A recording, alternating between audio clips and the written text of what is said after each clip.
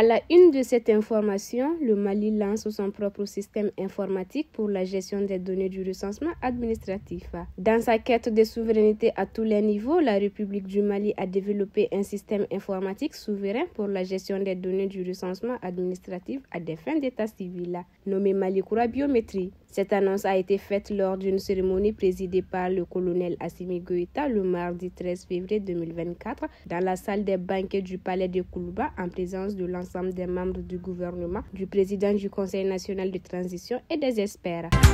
Lancement du projet de rédaction de l'histoire militaire du Mali. Le ministre conseiller à la sécurité nationale, le général de division Yamoussa Kamara, a présidé le mardi 13 février 2024 la cérémonie de lancement du projet de rédaction l'histoire militaire du Mali. Ce projet vise à retracer l'évolution de l'histoire militaire du Mali depuis les grands empires jusqu'à nos jours dans le cadre de la refondation de nos systèmes de défense.